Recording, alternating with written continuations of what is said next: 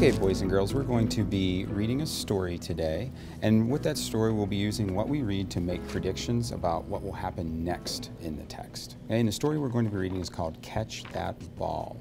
Okay, it's going to be a story about a girl who's really proud of what she does, but then something might happen at the end of the story. I'm going to leave that a little bit of a surprise for you. Okay?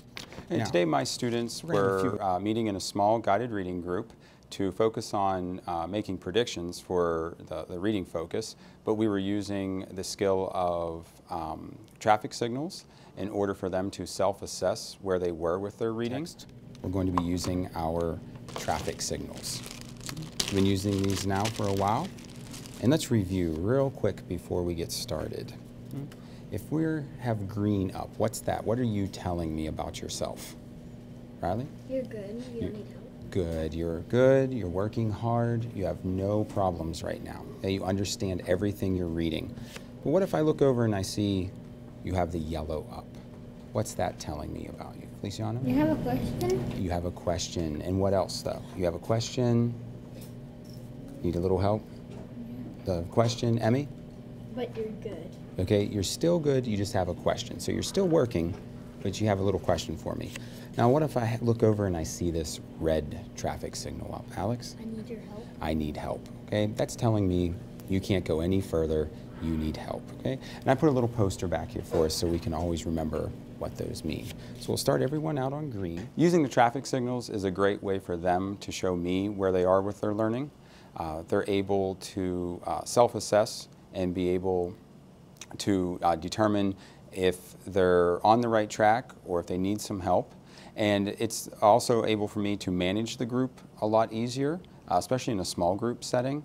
That way, uh, it's a visual cue for me, whereas a lot of times if the students are sitting there with their hands up, uh, they stop working altogether.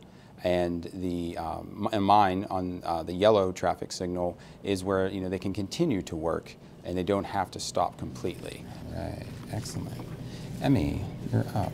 One second. Feliciano, what do you have? Do you predict what will happen? Yes, you can go ahead. Good question. Go ahead and make a prediction, answer that question, make a prediction, and then you can go on with your reading. Okay? Excellent question. Hannah? Where do we go after this? All right, you can go ahead and flip the page, and then continue on. A couple questions for you, and then your writing response. Okay. Great. Uh, in order to prepare them to use traffic signals, uh, at first I did a lot of modeling with different passages of reading uh, and acted like they, I was a student myself, and came to different vocabulary words that they might not be familiar with. And uh, when I modeled that, I didn't know the word. I would put the yellow like card up and continue reading so I because I didn't want to stop just because of one word. And you have a question? You still have your yellow up. Did you have a question?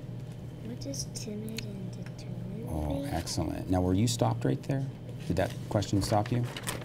Okay, that would have been a good time to put the red up okay, for me, because that would have showed that you were stopped, you couldn't work anymore. All right. In the past, you know, they would be stopping, so that means their learning is stopping.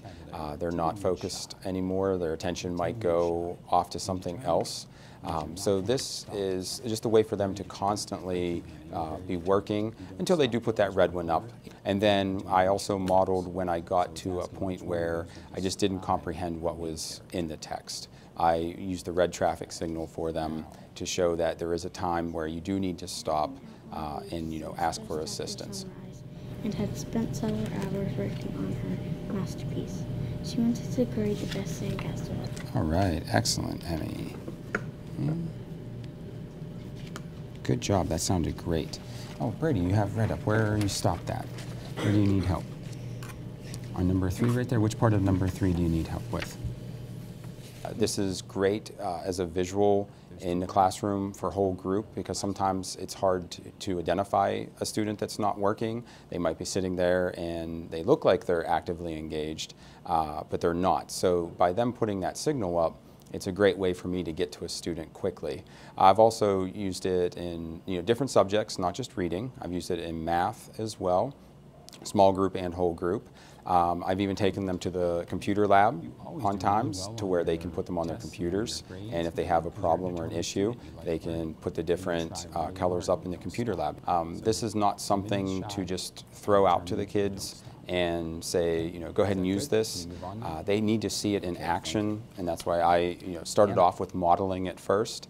And um, if you just give it to them, a lot of times they'll overuse them. For new teachers that would be trying this, I would start in small group, maybe model it whole group, but when you start using them, using them in small group is a lot easier just for the management, for you to manage them. Sometimes in whole group, it becomes very tedious to get around the classroom to all the different students.